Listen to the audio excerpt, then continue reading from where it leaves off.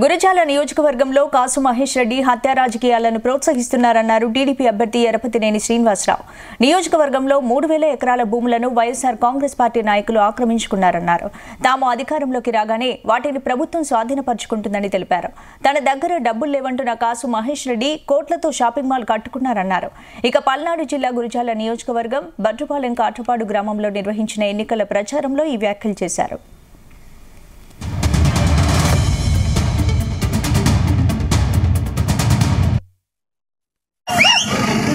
తాగడానికి మంచినీళ్ళు లేవు.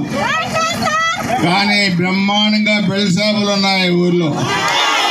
వాడికి ఏం కొదవలేదు దానికి కూడా వేలం పాట పాడారు.